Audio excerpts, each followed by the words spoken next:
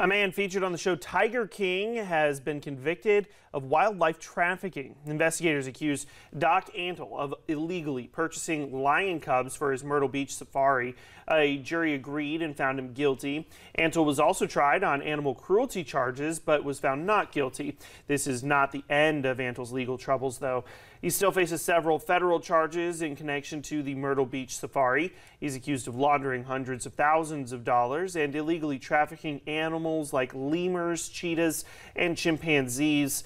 No trial date has been set for those federal charges. Antle will be sentenced for this most recent conviction on September 14th.